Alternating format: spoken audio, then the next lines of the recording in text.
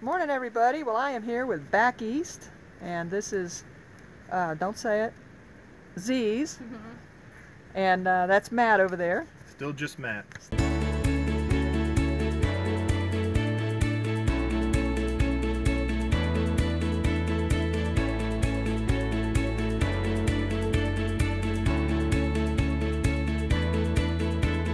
Still just Matt. Anyway, we spent a wet, cold night at uh, Muskrat Shelter, but they, uh, the people that were here first, were kind enough to let us have. In fact, Matt had the floor and I had the floor, and Yep. Z's was fortunate enough to be up on the Yeah, I squeezed on in. the. Uh, so, um, what's your favorite part so far? I should have asked you ahead of time and let you think about it. The nice weather we had to start was my favorite part, and I miss Oh. it. yes, I bet. Well, hopefully we'll have a few days here. And my favorite part was uh, it, it was cloudy the whole hike up until we got to Preacher Rock, and then it just gave us a beautiful view of uh, Yonah, Mount Yonah. Oh, that's really that was cool. cool. yeah, Yeah, great. So y'all did how many yesterday? Thirteen or something? 13. 14 if you count the walk to top of Georgia. It was Yeah. brutal. Oh goodness. And it was it was so cold. Well, y'all see my video of how miserable I was was getting up here, and I only did seven and a half. So, So, we're only doing five today. good, Yeah, good. nice short day. Well, we wish you all the best. Thanks. too. Have a great hike. Thanks, you too. All right, everybody have a blessed day. Good morning, everybody. Can you see what's shining on my face? It's about 20 degree wind chill out here. So, I got the chance to try out my mask.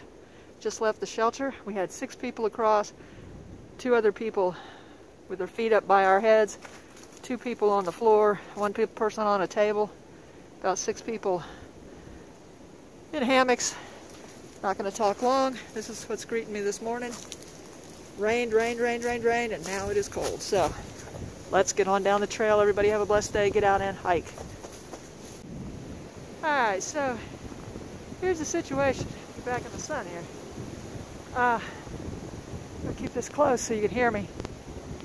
So the temperature went much lower than what the weather had originally said that it was going to go. And uh, yesterday the rain everything was wet, soaked. Fleece, my hiking shirt, uh, everything. So I had my dry clothes to put on to sleep in. Slept real well with the uh, fleece liner that I have and uh, the uh, Enlightened Equipment Enigma that Grumpy has loaned me. And, you know, I was great in the sleeping bag. It was just ice cold this morning. We're pretty sure it was close to 20 as far as wind chill. The young kids, the fit kids, the ones that are going to go forward no matter what the weather is, they their hands were frozen, they were shivering. But anyway, so I had to go and I couldn't put those cold clothes on in this cold weather. Wet, icy cold. I mean, they were frozen, literally. And uh, so we're going to get off at, several of us are getting off at Deep Gap, walking the five miles to be picked up down that uh, Deep Gap Forest Service Road, uh, where the gate has got it closed off, five or six miles, I'm not sure. So I've got about nine miles to do to uh, get safe, basically. And, uh, you know, learning a lot from this, which I'll share as we go, but um, try to show you some of the trail now that the sun is out. Would normally never wear my puffy to hike, but this is kind of an extreme situation and I was just so cold, and I'm still cold. Uh, I have some warmers in my pockets. They can warm my fingers. It was my first experience having non-Gore-Tex shoes, and while the shoes are great, and my socks kept my feet dry, the socks got really cold, just like I was always afraid would happen. And uh, putting them on this morning was really tough. My feet are, my toes are cold. Right now, unfortunately, I don't have any foot warmers. Lesson learned. Always keep foot warmers. Anyway, they'll, they'll be okay, I think. I'm sure they'll be okay. So, turn this around, let you see some of the trail, and uh, we'll talk more about all this later.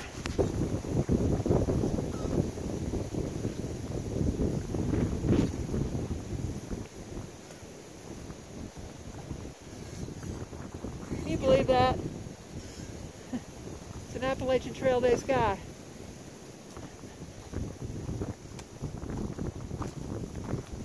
So, warm the mind, warm the heart. Maybe that'll help warm the feet and the hands. And the nose, which is, nose and ears are fine, thank goodness for the mask. Lost another shemagh. I guess I'm just not meant to use a shemagh. It's really a beautiful day for hiking.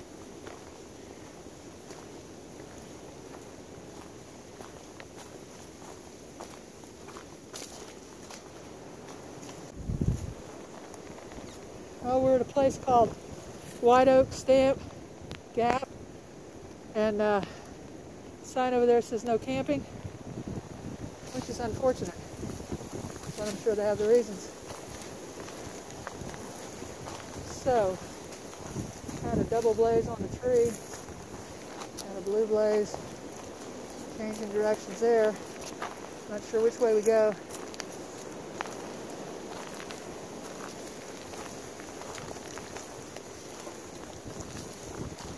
And this sign says White Oak Stamp.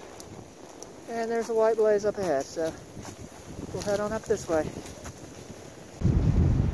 Well, I guess we see this in every uh, YouTube video we look at. I just came from up there. You can take Chunky Gal Trail. I think it goes down to 64 maybe, I'm not sure. Anyway, we've definitely left the leeward side and have come into the windward side. Temperature just dropped about 15 degrees, so I'm glad I left everything on. Because it is chilly. Chilly, chilly.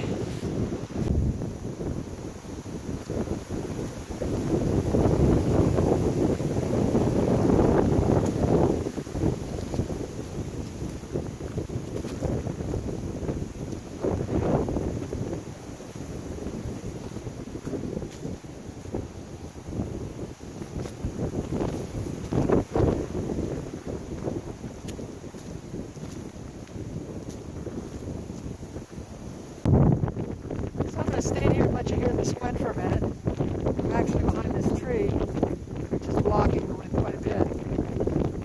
And uh, let you know the plan. So this wind is about to blow me over. I don't know how hard it's blowing. Not really that hard.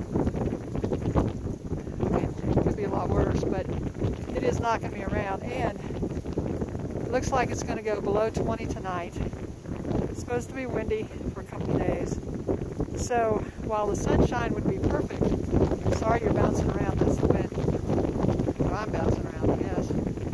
Anyway, while the sunshine would be perfect to go ahead and hike straight through, go over Albert Mountain, hit the 100 mile point, the cold is not in the wind.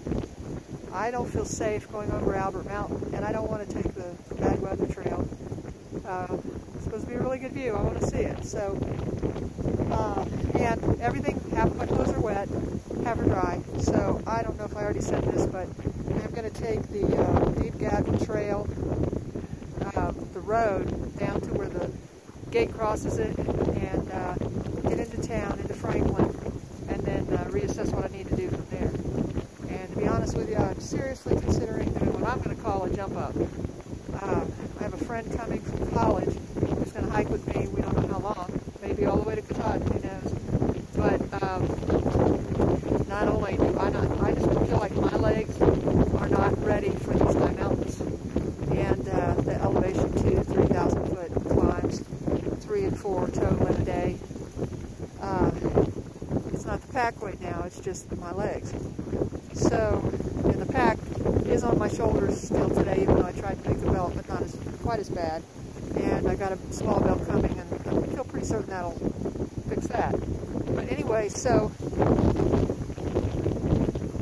I'm thinking about doing a jump up to Damascus, and then uh, maybe go as far as the Whites, and then come back here, start a deep gap with the gates open, get a ride up, and then do the high mountains in North Carolina and Tennessee, and then go up to the Whites. And that way I can build up gradually, which seems to be what my body is requiring, and uh, see if that'll work. So hopefully everybody's going to think that's a good idea, But um, anyway, I'm sure my friend will because having her start in this kind of climbs for her first time hiking, I just I don't feel good about that either. And it's going to be nice to have a hiking partner for a while, over how long she wants to stay.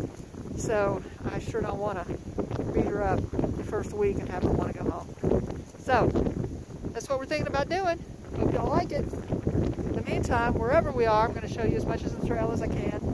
And uh, today it's just a gorgeous day and just gorgeous views. Um, because it's winter hiking, it's just very windy and very cold. So it's really, it's a great day to be out here. Just not under the circumstances necessarily that, you know, dry clothes, I could deal with the cold. But there's also lots of people in shelters now, you know, because of just starting out so very slow, having to take the week for my toe. I mean, the bubble's catching me already. It's the early bubble.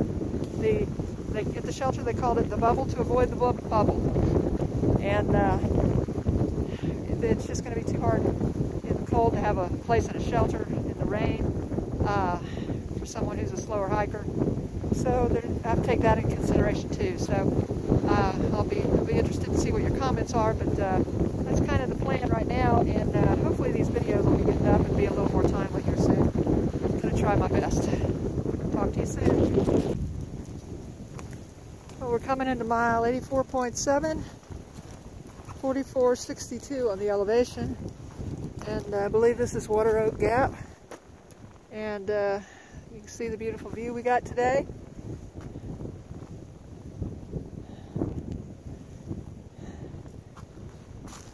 Colors in the winter are multiple shades of brown and then multiple shades of green. And um, a few other colors every now and then.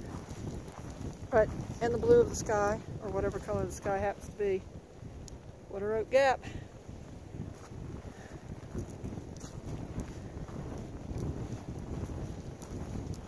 if you've got the right gloves, the right headgear, and uh, you know the right gear all around, a great day for hiking.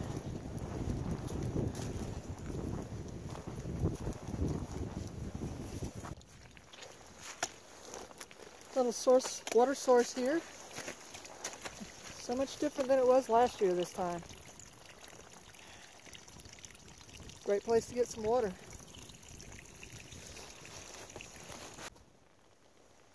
Just to let you see that it is a little bit chilly today. You see those?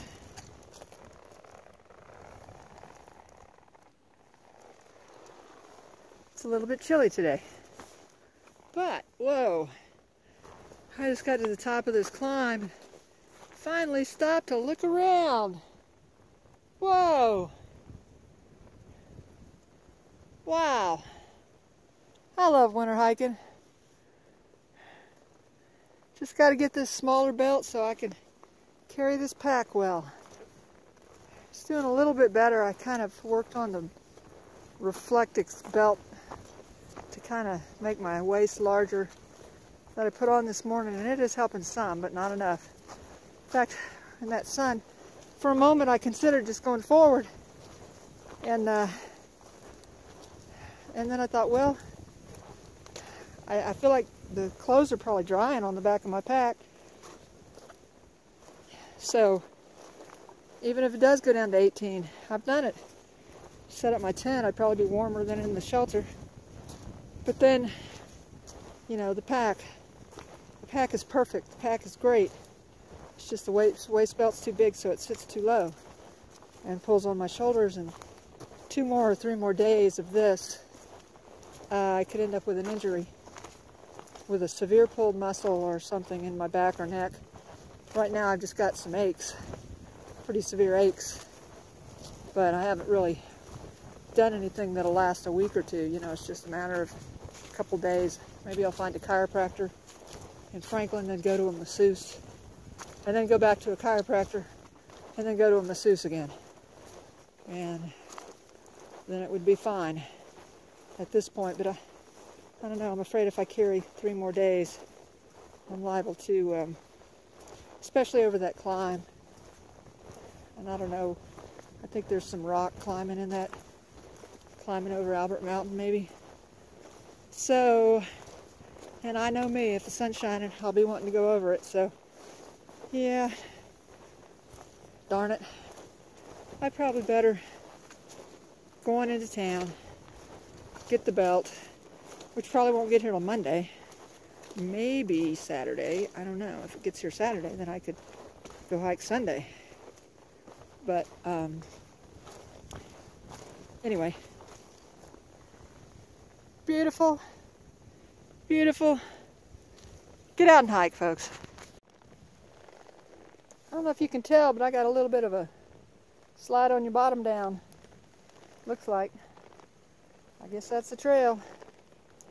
Too bad there's nobody here to film. It's one of those things that would be great to see somebody else doing it. But let's just get her done.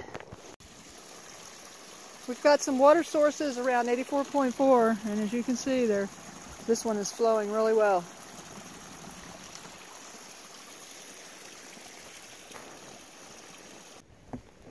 Well, darn it. That's going to be a little time consuming. So I'm going to have to crawl through that.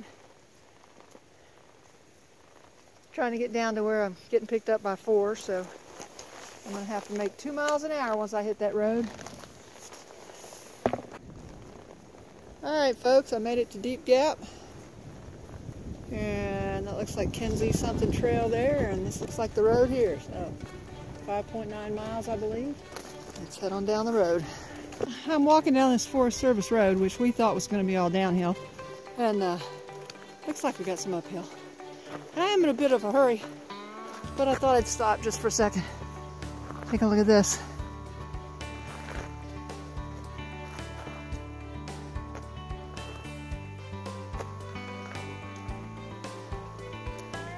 My favorite view on the Appalachian Trail. Alright folks, first of all, this road has been uphill, except for the first tenth that was slightly downhill. It's been uphill the whole time.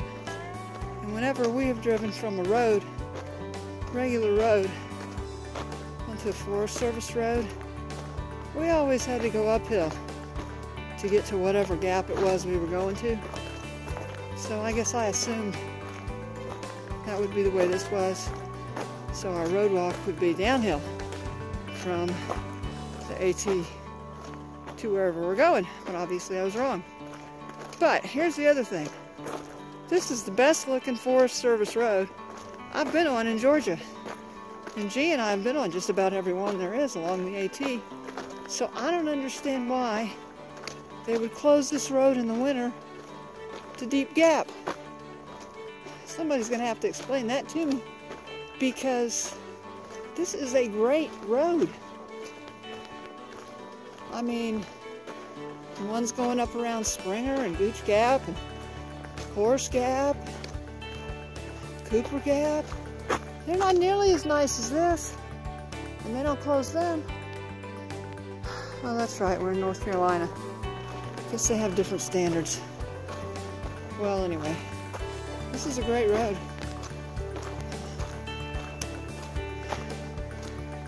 So, but it's uphill from the AT so far. I'll let you know if that changes when I get to the gate.